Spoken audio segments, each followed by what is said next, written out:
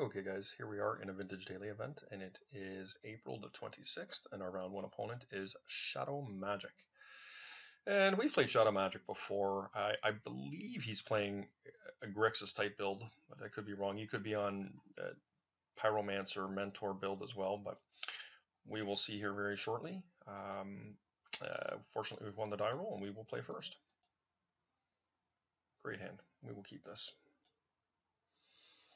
So I, we're going to attempt to turn one Lodestone Golem. This this could backfire for sure. Uh, our hand is pretty weak if it doesn't resolve because uh, of course we've got a Metamorph in our hand only and of course we need something to target.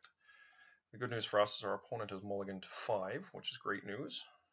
Let's see if we can slide this through here and hopefully this will resolve. I think we're in pretty good shape if it does because next turn we can strip mine, hopefully, and uh, pave the way for a lodestone golem. Of course, that would involve him having to have a non-basic, and of course he's got a. Oh, okay. Black Lotus pretty strong there for sure. So um, not sure what we're going to see here, but mentor. Okay. So pretty strong play from him. Uh, good news is, is, we can probably just wasteland him here and uh, ride that to victory. Another option is we can make our own. Um, but I feel like uh, I feel like just putting a lodestone golem on here is a very strong play. Um, because I think the likelihood of him having another land is probably pretty minimal.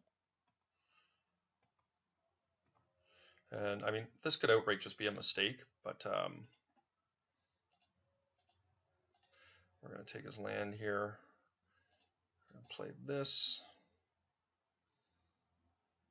And uh, this hopefully will just shut him right down.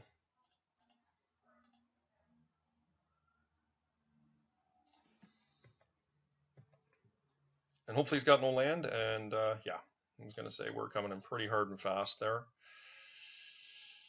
Um, so that answers that. We're playing against Mentor. Um, really don't have much on the sideboard for this. I guess we could bring in a, a Tabernacle here, kind of to hedge our bets against him. And uh, maybe we just take out a Crucible.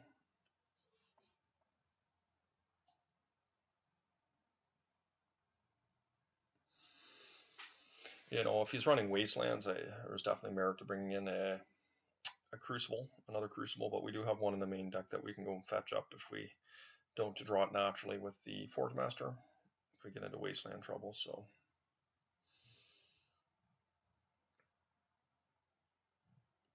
You know, it's uh, I brought in the Tabernacle today. I actually had two in the sideboard there before the tournament started. I went back down to one.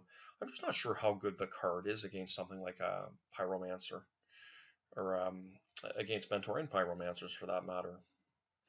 Uh, I guess in the right situation it could be really good, but um, anyways, I'm, I'm going to try it out here. We'll see what it does. Like, you know, in that situation, had he had a stronger hand, um, he got that turn one mentor down, like it would be devastating, right? It could be really good just cleaning out all his tokens, and all we're dealing with is a, you know, on average a two two to a four four turn, and that is def definitely sustainable. It wraps up all his mana as well, trying to save his creatures. So, but I can also see a scenario where it's not very good as well. And of course, it taxes my own creatures as well. So. We've got a pretty big tournament here today. We've got 33 people in the tournament, which is awesome.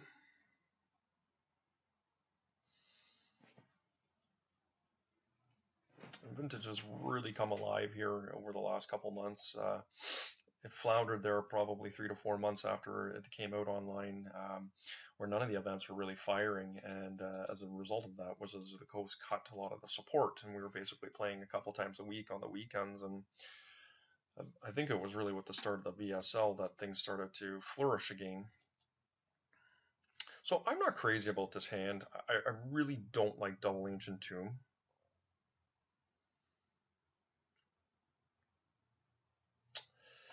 Our opponent is mulliganed here. Um,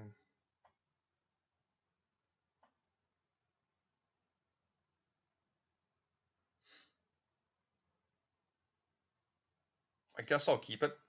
in hopes that we draw a, a different land here. Our opponent mulled. Um,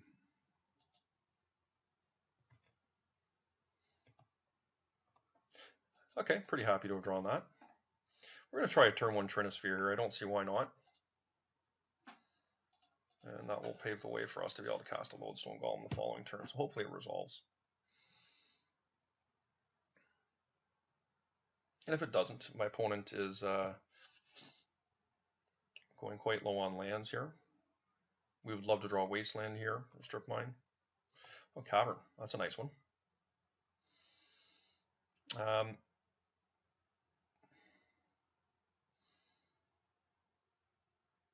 well, you see, there's two ways we can go about this here. I mean, we can actually play the Lodestone Golem here as a fisher, as in make him tap, uh, crack his lands.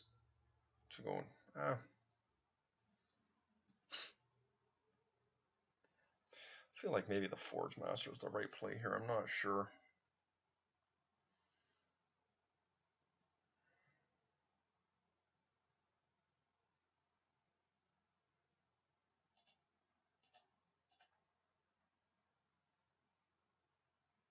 Where this would be really awkward is if my opponent had, uh, you know what?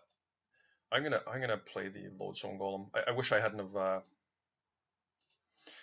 played the uh, Ancient Tomb there because of a Dack Fayden.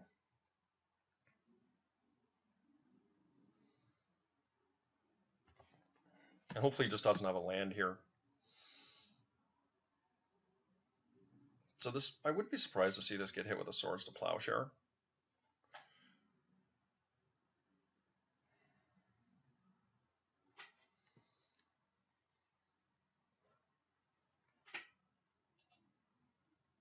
Yeah, so he's going to play something here. And I suspect it will be in a swords.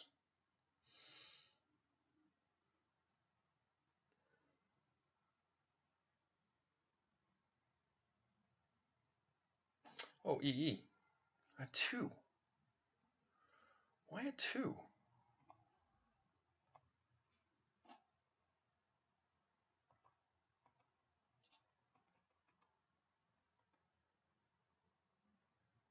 Oh, he's probably got it set at three here. We're just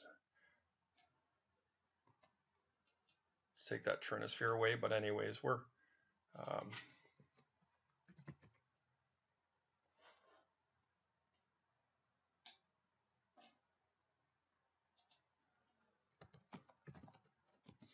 we'll set a construct here and uh,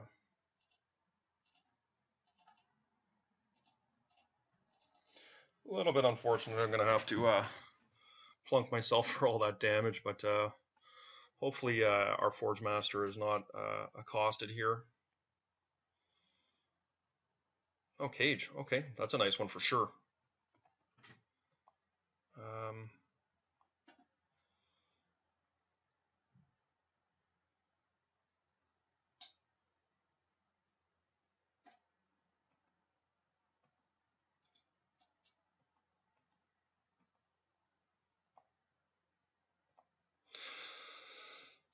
six mana we've got. So I could Chalice at one, and I could um, put the Revoker on the Engineered Explosives. I, I, mean, Engineered Explosives doesn't even do anything here. The question is, is this truly set at two? And I, have seen in the past, okay, my opponent's conceded here. I, have seen in the past where uh, it hasn't been set correctly.